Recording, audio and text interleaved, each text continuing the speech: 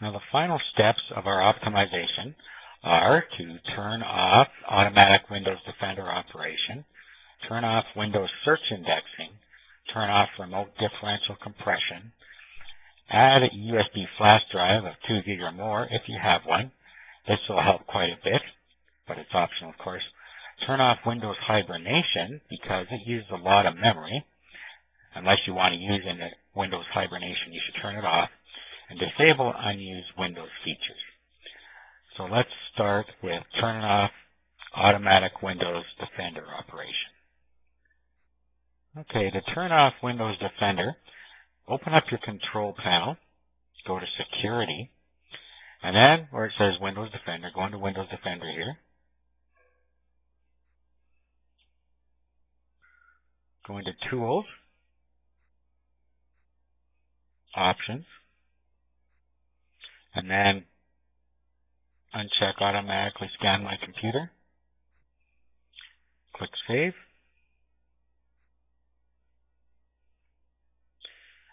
Then after you do that, you need to go into Services and you need to turn off the service. So we'll go into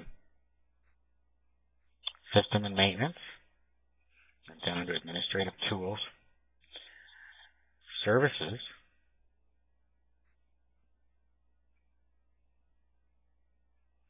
pops up a window, go down to Windows Defender,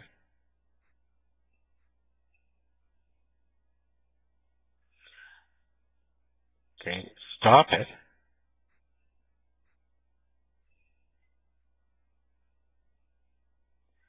And then make sure it's set to either manual or disabled. And so we'll just right click, go to properties, and then we will disable it. And now Windows Defender won't start anymore. Next we're going to turn off the indexing service. So let's close this And we'll close this. And then we will bring up my computer. Then right click on your install drive or your main boot drive. Click on properties. And then down here at the bottom it says index this drive for faster searching. Just uncheck that. Click OK.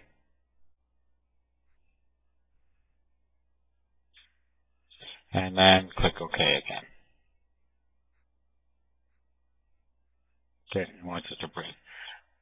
This is an administrative function, so Windows Security is giving us this error message, so just go ahead and give your security information here, and it'll be all set up. Okay, and it will go along, and you can see it de-indexing everything. And once it's done, that step will be complete. Now, two of these next ones we can do at once. Turning off Windows differential compression and uninstalling some of the unused Windows components. So to do that, go to Control Panel and then go into Classic View. And then what we want to do is go to Programs and Features. Then over here, turn off, turn Windows features on and off. So click on that. Okay, it's loading up the features that are installed on our computer. Okay, and here's where you can turn off any that you don't need. So we can turn off the games in this case. Got the net framework, we want to leave that on. Print services is going to want remote differential compression.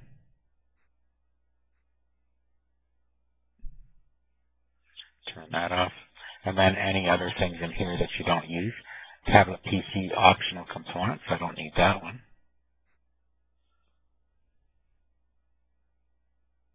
Okay, Windows Meeting Space, I don't use that.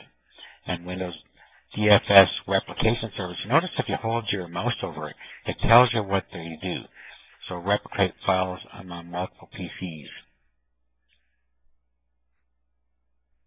keeping them in sync. Okay, so I can turn that one off as well. And once I have that the way I want it, I just click OK. And it can reconfigures the features. Okay, and then you would restart your computer an hour later to finish that step. Okay, and then the last step we want to go over is adding a USB flash drive. Now, if we go to my computer, and you had a flash drive installed, which I don't happen to have, but if you have, you install a flash drive into a USB port, and we'll say that this is it here. If you right click on it and click on properties, you'll see over here something called Ready Boost. If you click on that, you can enable Ready Boost over here. And that will actually use that drive as extra memory.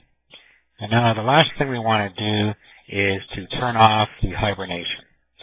So go into your control panel and then go into system and maintenance, go into power options, and then go to high performance if you're not already there.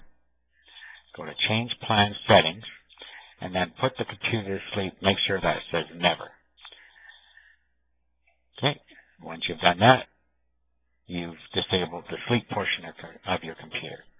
Now you have done what is necessary to get the most performance out of your Windows Vista system.